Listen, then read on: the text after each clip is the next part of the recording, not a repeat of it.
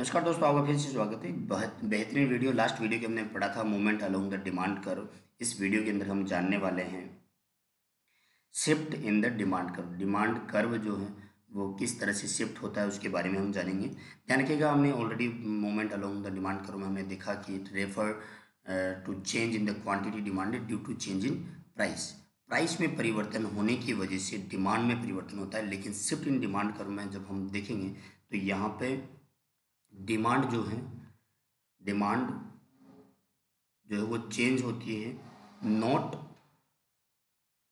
due to change in price not due to change in price but due to change due to change in the due to change in the values of other variables variables influencing demand यानी कि यहाँ पर ये हो रहा है कि demand में जो परिवर्तन हो रहा है, वो प्राइस की वजह से नहीं हो रहा है बट कि क्या हो रहा है कि दूसरी जो अदर जो गुड्स हैं, ठीक है, इस अदर गुड्स की वजह से क्या हो रहा है, उनकी वैल्यूज़ में परिवर्तन की वजह से हमारी डिमांड जो है उसमें परिवर्तन हो, रहा है। ये दो प्रकार का हो सकता है। या तो क्या होगा increase increase in demand increase in demand या फिर होगा ये decrease in demand decrease in demand आपको दो तरह का जो चेंज जो है वो देखने को मिलेगा इंक्रीज इन डिमांड और डिक्रीज इन डिमांड आपने देखा वहाँ पर, हमने मोमेंट अलोंग द डिमांड करो, फिर वहाँ पे हो रहा था extension of demand and contraction of demand ठीक है? Increase and decrease in demand result in the shifting of the demand curve result increase and decreasing increase and decreasing in demand result result in shifting of the demand curve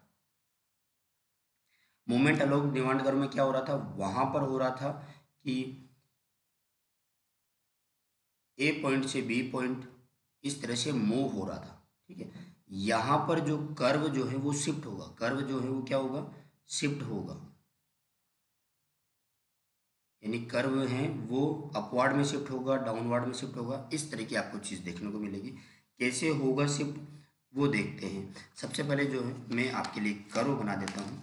यानी कि कोई भी consumer जो है, वो consumer किसी भी other goods की जो वैल्यूज़ हैं, उनमें परिवर्तन होने की वजह से, ठीक है अदर गुड्स जो है वेरी अदर जो वेरिएबल्स हैं, उनमें, उनकी वजह से जब चेंज होगा तो वो किस तरह से बिहेव करेगा क्वांटिटी डिमांडेड उसकी कैसे क्या क्या रह सकती है, उसके बारे में हम ग्राफ के द्वारा जो है आपको समझाने का प्रयास करते हैं।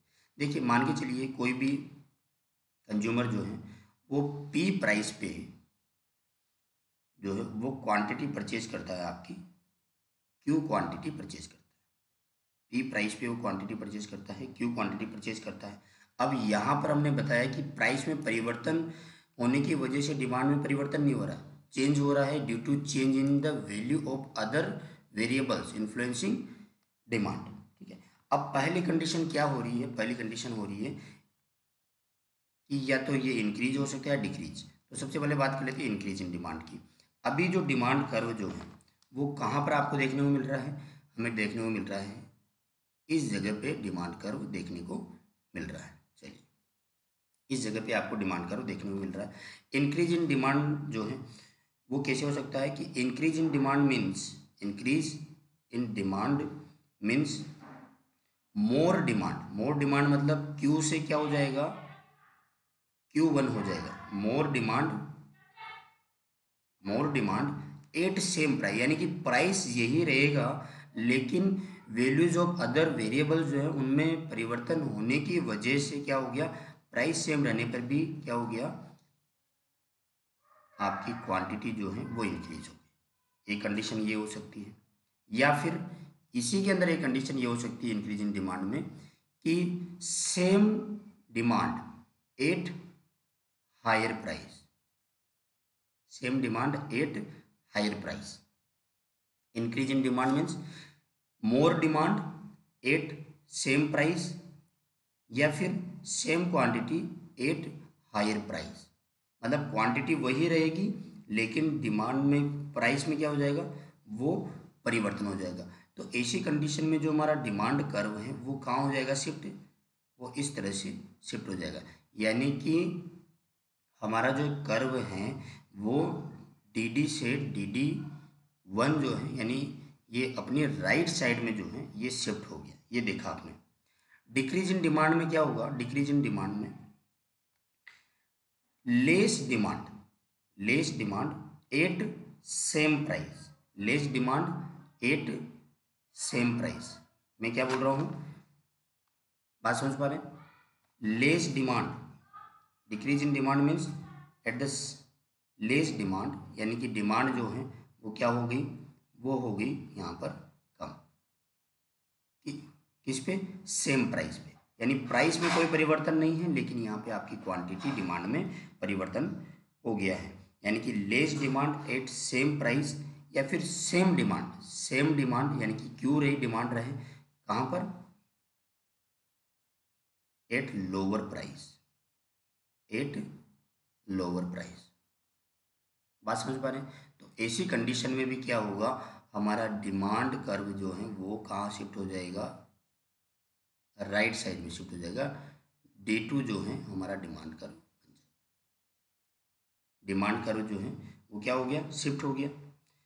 इंक्रीज इन डिमांड में क्या हो रहा है? Increase in demand demand curve shift upward to right side increase in demand में, यानी कि ये वाली जो कंडीशन आप देख पा रहे हैं डी से जो शिफ्ट हो रहा है, ये हमारा अपवर्ड शिफ्ट हो रहा है, कौन सी साइड में? राइट right साइड में। ऐसी कंडीशन होती है तो इसको जो है, क्या बोलेंगे? इंक्रीज इन डिमांड ठीक है? और डी से शिफ्ट होगा। डी टू ये हो गया डाउनवर्ड डाउनवर्ड यानी कि आपकी लेफ़्ट साइड के अंदर। ये रहेगा आपका decrease in demand decrease in demand बात समझ पा रहे डिक्रीज इन डिमांड तो बेसिकली हमें इंक्रीज इन डिमांड के लिए क्या बोलेंगे? इंक्रीज इन डिमांड के लिए हम बोलेंगे, एक बार मैं रेड पेन से आपको थोड़ा सा शो करवा देता हूँ इसमें, या फिर हाईलाइटर ले लेते ओके सबसे पहले इंक्रीज इन डिमांड में देखिए आप more demand more demand at same price या फिर same demand at higher price same demand at higher price तो यहाँ पे हमारा जो कर्व शिफ्ट हुआ, ये इस जगह पे हो गया। ठीक है? इसको बोलेंगे increase increase in demand decrease in demand में रहेगा कि less demand less demand at higher price या फिर same demand at lower price इस कंडीशन में भी हमारा जो कर्व है, वो नीचे की तरफ़ शिफ्ट हो गया। ठीक है? तो ये हैं आपके shift in demand curve demand curve किस तरह से शिफ्ट होता है? तो आप लोगों को ये अपवर्ड डाउनवर्ड लेफ़्ट और राइट जो है कॉम्बिनेशन समझ में आ गया होगा। उम्मीद करता हूँ ये वीडियो आपको अच्छा लगा होगा। ध्यान रखिएगा एग्ज़ाम में जब आपसे कई बार क्वेश्चन पूछा जाता है तो शिफ्ट इन डिमांड की जगह आपसे डायरेक्टली वो जो है इस तरह से भी पूछ सकते हैं कि भाई जो आप इसको बताने के लिए आपसे पूछ सकता है कि increase in decrease demand change in demand को समझाइए, है ना? तो इंक्रीज एंड डिक्रीज डिमांड जो है, उसको डिनोट किया जाता है।